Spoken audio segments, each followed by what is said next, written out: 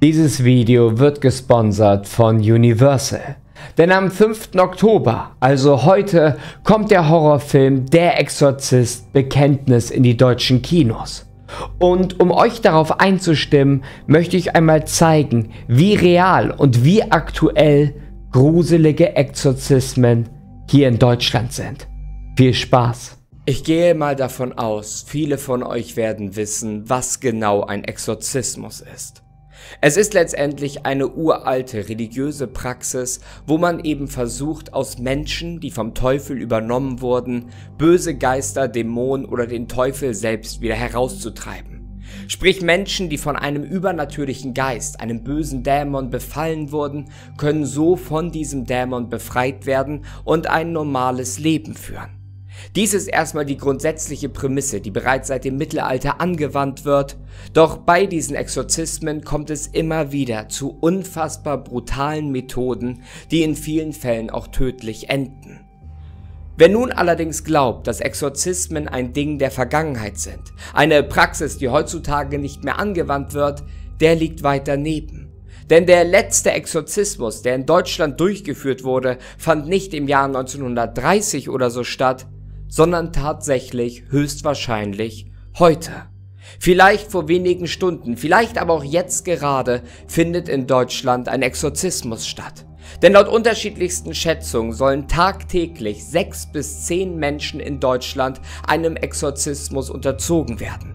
Das heißt, es gibt hier viele Menschen, die angeblich besessen sind und die man versucht zu reinigen.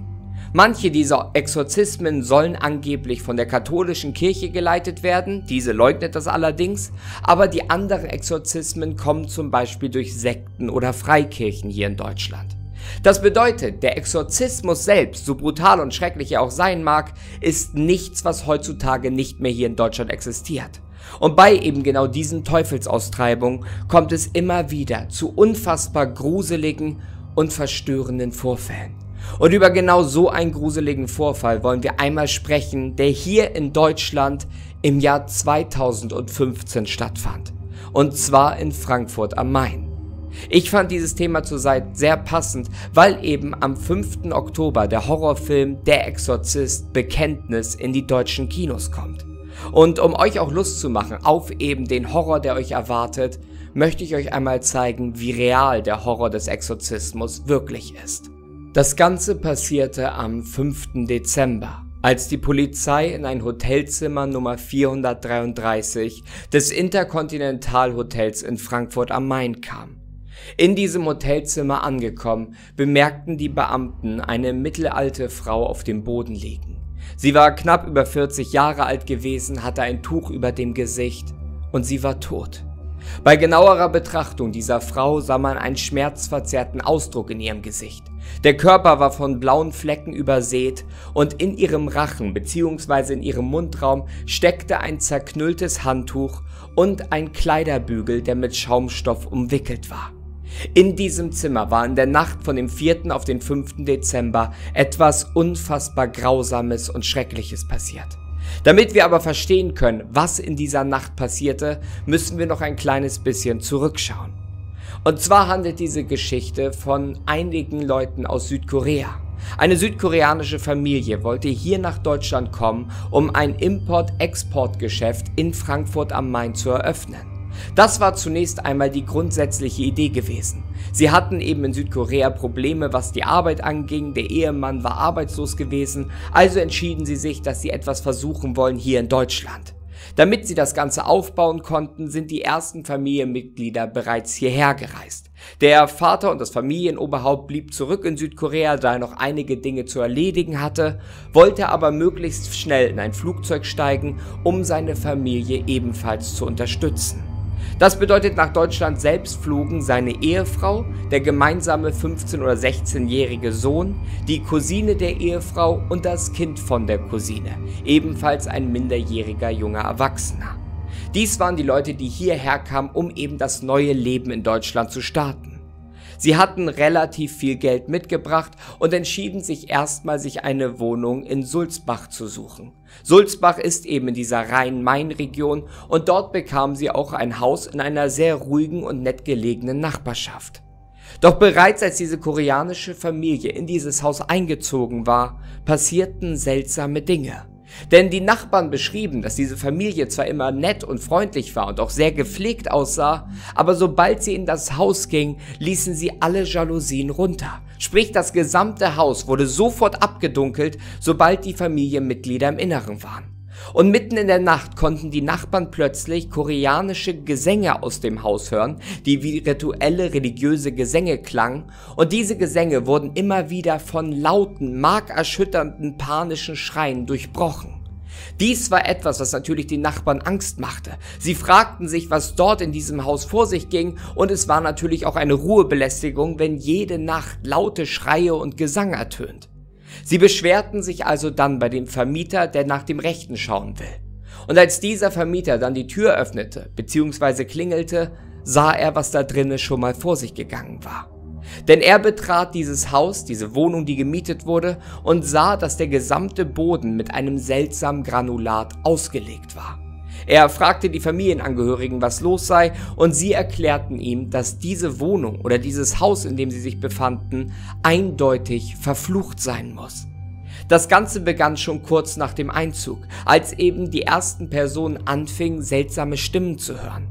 Die Cousine der Frau, die sehr religiös ist, sagte so zum Beispiel, dass sie, sobald sie im Haus gewesen ist, hören konnte, wie Dämonen oder böse Geister mit ihr sprachen. Sie konnte zwar niemanden direkt sehen, der mit ihr redete, aber sie hörte ganz klar ihre Stimmen, die sie bedrohten.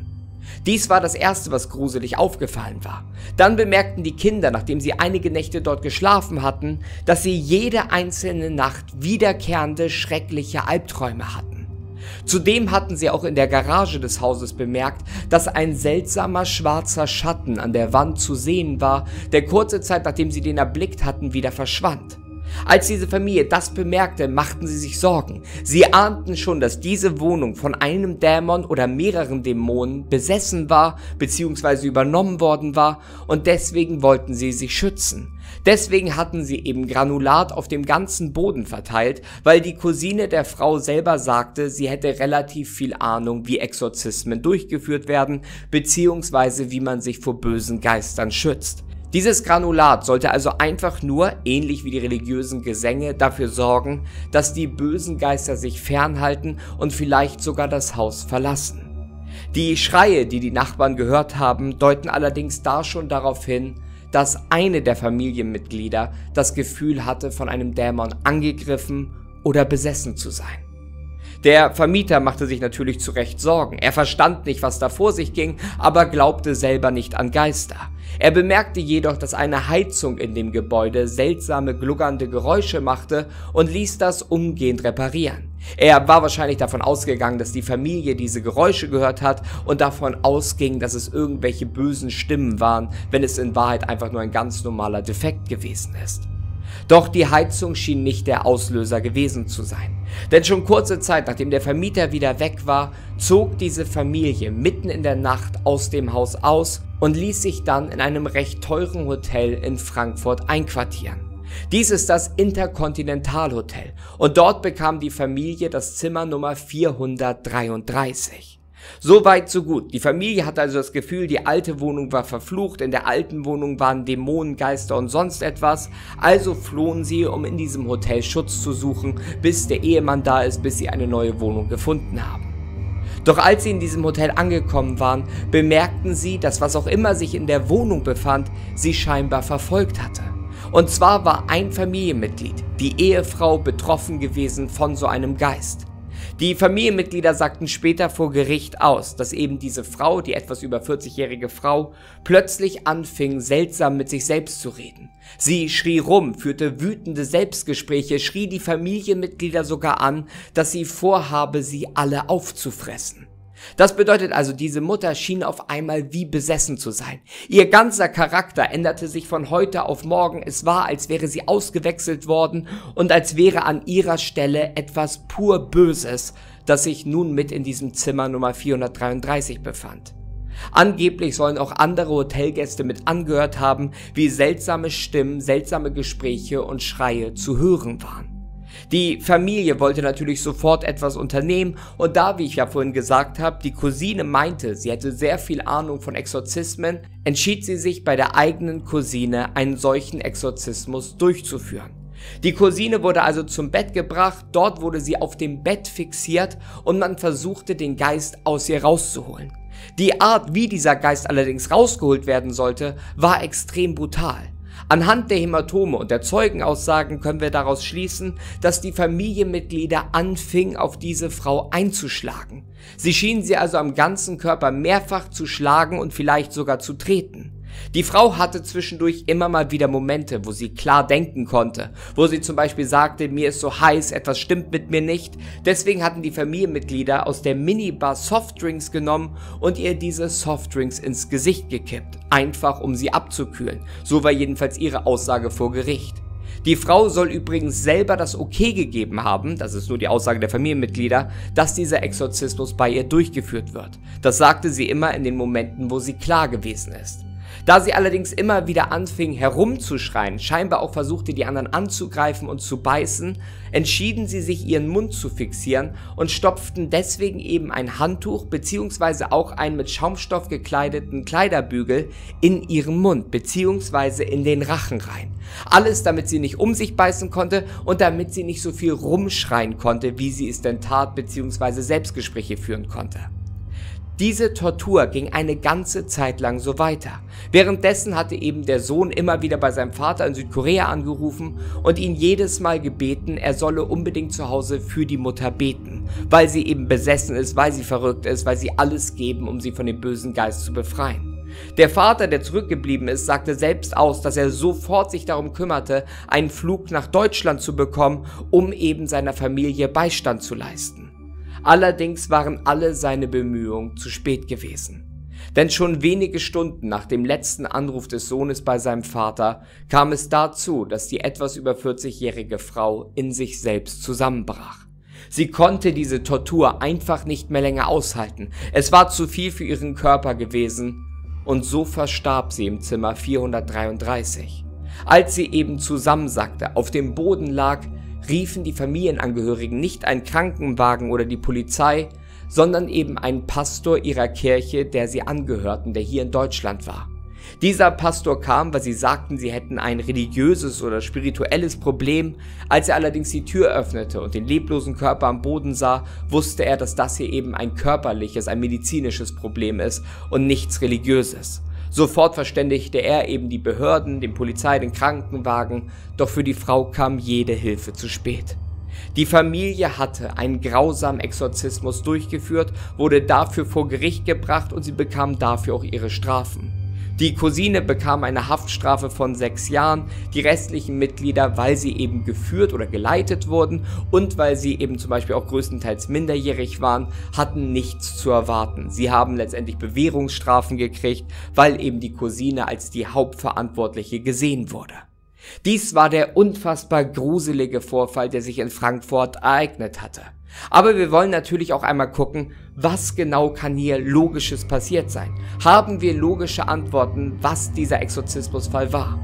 Zunächst einmal dieses Haus, das sie gemietet hatten, hatte keinerlei vorherige Informationen, dass dort Geister oder Co gewesen sein sollten. Als der Vermieter, nachdem die Familie ausgezogen war, wieder das Haus betrat, bemerkte er neue merkwürdige Dinge. So stand zum Beispiel ein Wok mitten im Raum, der gefüllt war mit Fett und in diesem Fett schwamm eine Socke und eine Unterhose. Zudem bemerkte er verbrannte Telefone inmitten des Raumes. Das heißt, scheinbar wurden auch schon erste Exorzismen oder Rituale in diesem Haus durchgeführt. Seitdem gibt es keine Information, ob jemals wieder Geister in diesem Haus bemerkt wurden oder nicht. Dies war also das Erste, was merkwürdig gewesen ist. Doch es geht noch weiter, denn man muss Folgendes ganz klar sagen. Die Dinge, die die Frau gemacht hat, waren seltsam, aber nicht unerklärlich. Es gab keine Vorfälle, dass sie übermenschlich stark zum Beispiel war. Sie wirkte einfach nur so, als hätte sie auf einmal eine Psychose bekommen, als wäre sie plötzlich durchgedreht. Dies kann Grund einer Krankheit sein, es gibt keine Information, ob sie wirklich eine psychische Krankheit hatte, aber es könnte eben sein, dass es durch so eine Krankheit entstanden ist, oder es könnte auch einfach sein, dass sie sich das Ganze einbildete. Wie gesagt, die Cousine sagte selbst, sie hätte viel Ahnung von eben Teufelsaustreibung und die ganze Familie war hochreligiös gewesen. Wenn die Cousine eben der Familie eingeredet hatte, dass dort Geister im Haus waren, dass die Geister sie vielleicht übernommen haben, könnte es sein, dass die Mutter vielleicht eine Psychose entwickelte dadurch und deswegen anfing sich wie ein Dämon zu verhalten. Einfach weil sie selber davon ausgegangen war, dies wäre wirklich mit ihr passiert. Dies ist natürlich auch nur eine Theorie, die wir nicht bestätigen können, aber es ist das, was am logischsten erscheint hierbei. Es sei denn, man glaubt natürlich an Dämonen, Geister und sonst etwas. Meistens ist es so, dass wenn man von etwas vollkommen überzeugt ist, wenn man also vollkommen glaubt, Geister, Dämonen und ähnliches sind echt, dann ist es auch wahrscheinlicher, dass man von sich selbst denkt, man wäre vielleicht besessen, wenn man kleine Merkwürdigkeiten an sich bemerkt. Es könnte also sein, dass dies ein Vorfall war. So oder so muss man sagen, dass hier etwas unfassbar Grausames passiert ist. Ein grausamer Angriff auf diese Frau und es zeigt, dass die Gefahr von Exorzismen, von Teufelsaustreibung bis heute in Deutschland immer noch real sind. Und wenn ihr jetzt das Gefühl habt, dass Exorzismen euch Angst machen, dass ihr aber doch trotzdem mehr erfahren wollt, dass ihr euch mehr gruseln wollt vor dieser reellen Gefahr, dann kann ich euch sehr den Horrorfilm Der Exorzist Bekenntnis empfehlen. Dieser Film kommt in die deutschen Kinos am 5. Oktober und ich kann ihn euch allen nur empfehlen. Es geht um zwei junge Mädchen, die eben in einem Wald plötzlich verschwinden und drei Tage später wieder auftauchen ohne Erinnerung, was dort wirklich passierte. Das Einzige, was die Angehörigen schnell bemerken, ist, dass diese beiden Mädchen etwas mitgebracht haben, das sich scheinbar dort im Wald oder wo auch immer sie gewesen sind, versteckte. Ein böser Geist, der schon einmal da war. Wenn ihr eben euch für Geister und Dämonen interessiert oder einfach Horrorliebhaber seid und vielleicht auch Fans seid von dem originalen Teil Der Exorzist, dann ist dieser Film eine absolute Filmempfehlung. Er ist eben das typische, was man von Der Exorzist kennt, nur in einem moderneren Setting. Und man trifft eben auch alte Bekannte, die man aus dem ersten Film vielleicht schon kennt. Wenn ihr euch also mal so richtig gruseln wollt, dann denkt dran, geht am 5. Oktober ins Kino und guckt Der Exorzist Bekenntnis. Vielen Dank an Universal für die Zusammenarbeit. Und um euch jetzt noch in Stimmung des Filmes zu bringen, kommt hier einmal der Trailer.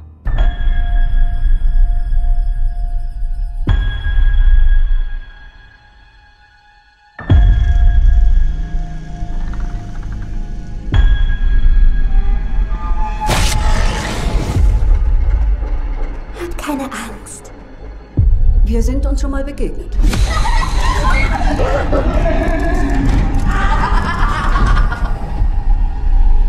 Suchst du nach Reagan? Suchst du nach Reagan? Sie in der Hölle! Mach, dass es aufhört!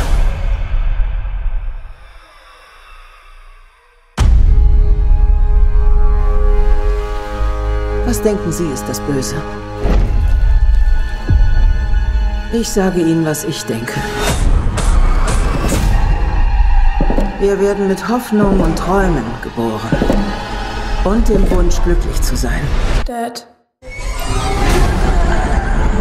Irgendetwas passiert mit meiner Tochter. Es passiert auch mit meiner Tochter. Der Teufel hat nur einen Wunsch. Wohin die Mädchen auch gegangen sind, sie haben etwas mit zurückgebracht. Wir sollen den Glauben verlieren. Ich glaube, Sie können helfen, unsere Mädchen zurückzuholen. Ihn in uns auslöschen. Und der Teufel gibt nie auf. Sie weiß, wer ich bin. Wo ist die andere?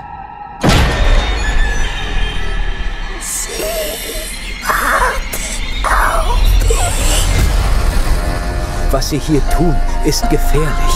Es sind Menschen auf beiden Seiten der Besessenheit gestorben. Komm schon, Schatzi. Bitte, komm schon. Wenn du das nicht überlebst, werde ich es auch nicht. Mama, ich bin hier.